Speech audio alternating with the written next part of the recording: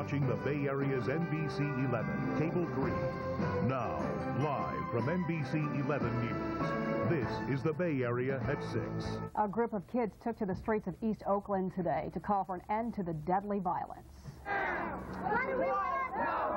When do we want it? They marched down International Boulevard carrying signs. They say all the killings this year have hit too close to home.